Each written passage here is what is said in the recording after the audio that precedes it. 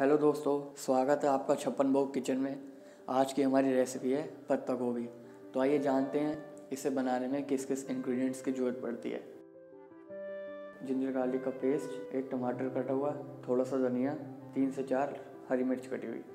एक कटोरी मटर वेजिटेबल ऑयल पत्ता गोभी कटा हुआ। आइए दोस्तों, इसे बनाना शुरू करते हैं।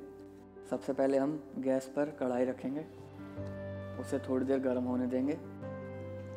अब हम इसमें चार टेबल स्पून वेजिटेबल ऑयल डालेंगे। ऑयल गर्म होते ही हम उसमें जीरा डालेंगे। जीरे को जब तक गर्म करेंगे, जब तक उसका रंग ब्राउन नहीं हो जाएगा। जीरा ब्राउन हो चुका है, अब हम इसमें कटा हुआ प्याज डालेंगे और प्याज को अच्छे से फ्राई कर लेंगे दो से तीन मिनट के लिए। दोस्तों, हमारी प्याज भुन चुकी है। अब हम इसमें जिंजर गार्लिक का पेस्ट डाल देंगे और साथ ही कटी हुई मिर्च डाल देंगे। फिर इसे मिक्स कर लेंगे। दोस्तों, अब हम इसमें आधा टेबल स्पून लाल मिर्च का डालेंगे और एक तिहाई टेबल स्पून हल्दी का डालेंगे और नमक स्वाद अनुसार डालेंगे। और इसे कड़छी को जब तक चलाएँगे, जब तक ये मसाले इसमें अच्छे से मिक्स ना हो जाए। अब हम इसमें एक कटोरी मटर डालेंगे और साथ ही चॉप्ड किए हुए टमाटर डाल देंगे और इसे अच्छे से मिक्स कर लेंगे।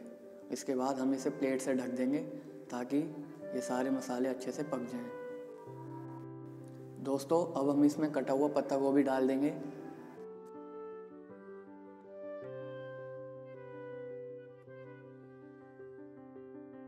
अब हम कड़छी से पत्ता गोभी को सारे मसालों में मिक्स कर लेंगे।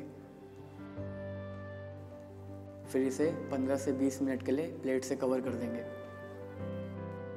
दोस्तों बीच बीच में चेक करते रहिएगा और इसे कड़छी से चलाते रहिए। दोस्तों, हमारी पत्ता गोभी हो गई है तैयार। अब हम इसे धनिया से गार्निश कर लेंगे।